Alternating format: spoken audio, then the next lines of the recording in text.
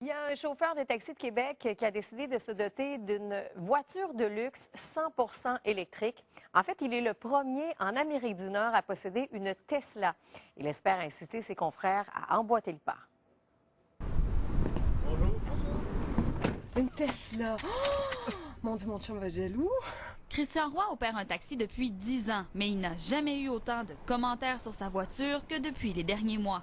Il a troqué sa bonne vieille automobile pour quelque chose de beaucoup plus luxueux et écologique. Parce que le taxi, là, la voiture roule hiver comme été, donc comme je, comme je répète souvent, c'est qu'on est les, quasiment les plus pollueurs. Euh, petite question économique, euh, ça coûte combien? Ce n'est pas pour toutes les bourses. Celle-ci coûte 97 000 mais il assure que le jeu en vaut la chandelle. Sur mon ancienne voiture, sur le Subaru, j'ai mis 70 000 d'essence en 8 ans. En 8 ans. C'est quasiment 10 000 par année qu'on met. euh, fait que- donc cette voiture-là, ça va être à peu près 2 000 d'électricité par année. Nous autres, on fait jamais en bas de 250 km en une journée.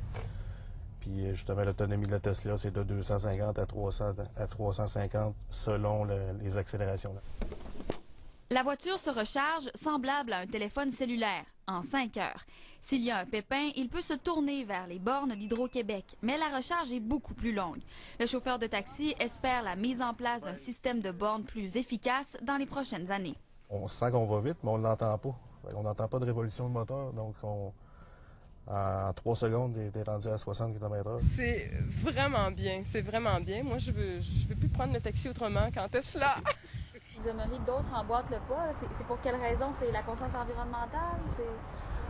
Ben, en partie, c'est euh, c'est monétairement. Là. En, en tout- en toute honnêteté, c'est qu'on on fait plus d'argent avec ça. L'économie de coût est toutefois réservée aux propriétaires. Les clients débourseront le même prix que pour un voyage dans un bon vieux taxi à essence. Claudie Côté, TVA Nouvelle, à Québec.